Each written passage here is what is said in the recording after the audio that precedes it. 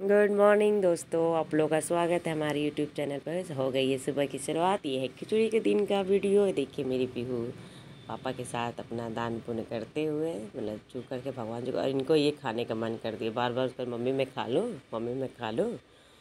तो वो चुलाने के लिए कहा जा रहा था, लेकिन इनको खाने का पूरा मन कर रहा था। हमारे यहाँ मौनी मस्या के दिन पूरा चीज़ चुहा जाता है। अभी उसके बाद छूने के बाद लाई और ये क्या कहते हैं, इसको हम लोग पटौड़ा बोलते हैं। और ये मूढ़ी और उसके बाद खाना, उसको जा, खाना ज़रूरी होता है। तो यहाँ पे उसके बाद पीहू से पहले मैं थोड़ा सा चली गई थी मार्केट में पापा के साथ। तो वहाँ से अपना एक केक लेकर आई थी तो उसका भी इंजॉय कर रही हैं। उसके बाद वह ध्यान था, मम्मी, तुम भी खा लो। लेकिन मैं बोली, मैं नहीं खाऊँगी। ठंड का, और ठंड तो अपने रिकॉर्ड पे ही था। ठंड का मैं रहूँगी, उसके बाद खा लो, मम्मी दिखा रही थी। टंग अंदर करो। और ये आप लोग देख सकते हैं, ये तिल, उस दिन खाना बहुत ज़रूरी होता है। तो खिचड़ी के दिन का वीडियो अभी मैं दो दिन के बाद अपना से शेयर कर रही हूँ। मेरे मुझे समय नहीं मिला। कुछ तबीयत के चलते हुए यहाँ पे देखिए। मैं भी बोली, चलो, नहा हुआ लिया मैंने भी अपना दान पुण्य करके उसके बाद सबसे पहले मैं लाई। मैं खा रही हूँ। उसके बाद पीहू हमको बहुत ध्यान से देखे करी मम्मी अच्छा लग रहा है तो हम लोग बेटा थोड़ा सा तुम भी खा लो। तो तू yes yummy mummy, yummy. Yummy बहुत अच्छा है।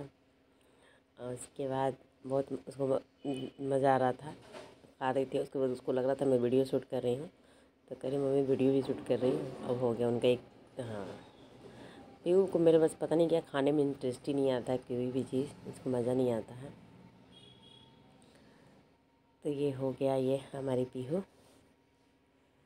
उसके बाद ये हम लोग का खिचड़ी का दिन का सुबह का शुरुआत था, नहाने नहा वहा करके पूरा चूना दा छुआ जाता था। हमारे यहाँ देख लो आप लोग, चूड़ा और जो मतलब जो चीज़ खाते हैं उसी को उसी को दान किया जाता है फिर जो मौनी मत्स्य आएगा, मौनी मत्स्य के दिन हम लोग का ये चावल दाल उड़द सारा उस दिन हम लोग चूते हैं कि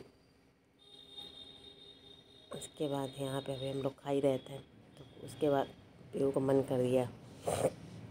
कि मम्मी, चलो ये हो गया। अब देखिए, उसके बाद मिला हम लोग को दही, दूध आलू गोभी की सब्ज़ी, चूड़ा और ये गुड़।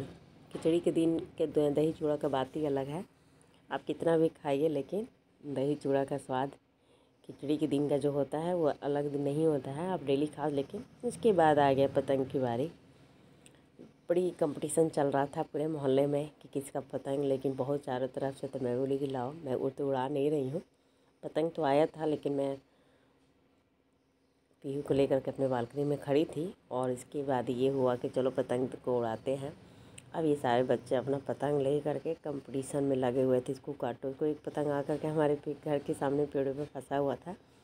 बहुत खूबसूरत लगा। ये देखिए, ये दो आपस में दो पतंग कितना हवा में लहराते हुए कंपटीशन हो रहा था। ऐसा देखने में लग रहा था करिए तो पतंग कटने ही वाला है, लेकिन कटा नहीं था। जो भी दो फाइटर थे आपस में लड़े हुए, लेकिन दोनों कंपटीशन बराबर था। थोड़ा सा तो ये डाउन हुआ, लेकिन ये अपने आप को अपना मोड से संभाल लिया बाद में। देखिए, ये भी ऊपर चला गया लहराते हुए। और ये देखिए ब्लू और पिंक में कंपटीशन चल रहा है। उसके बाद मेरी पीहू को भी बड़ी मन कर दिया। कि मैं भी चलाऊँगी, मैं भी चलाऊँगी।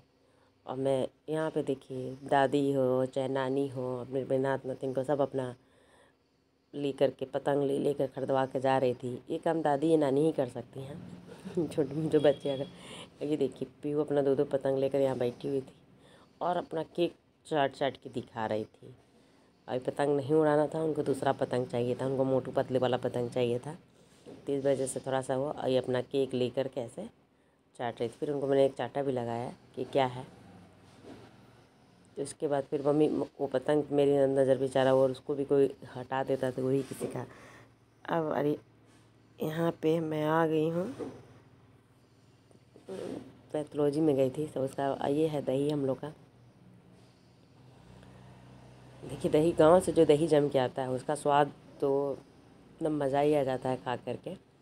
और आधा हम लोगों ने ख़त्म कर दिया था इतना। उसके बाद शाम के समय हमारे खिचड़ी के दिन पकौड़ी बनता है मतलब जितनी तरह का पकौड़ी बना लें। तो यहाँ पे हमारी सास ने बनाया हुआ था, मेरा, मेरी तबीयत ख़राब थी उस दिन। तो इसलिए आप लोग देख सकते मैं पैथोलॉजी में गई थी, अपना ब्लड सैंपल देने और ये पकौड़ी है, बैगन का, आलू का, प्याज का, गोभी का, और फिर आलू का टिकिया था। ये रात का खाना हमारे यहाँ बनता है, कढ़ी, आलू, गोभी की सब्ज़ी, आलू का टिकिया दही बड़ा, चटनी। मैं, मेरी सासू माँ को बहुत ज़्यादा मेहनत करना पड़ा था। कोई नहीं, फिर अगले अगले साल सोचते हैं तो नहीं करूँगी। और उसके मौनी अमावस्या आने वाला है तो उस दिन में तो छोटी खिचड़ी कहा जाता है तो मैं कर लूँगी सारा। और उसके बाद ये खाना देकर और उसके बाद पीहू, खाना नहीं खाऊँगी और मैं बदमाशी करूँगी, वो मुझे धमकी दे रही थी। एक दिन उसके मोबाइल से मुझे चोट लग गया था तो मुझे खाना खिलाओगे तो मम्मी देखो मोबाइल फिर से तुमको चोट लगा देने तो मैंने मैंने भी बोला, तुम लगा के दिखा, चलो ओके बाय दोस्तों।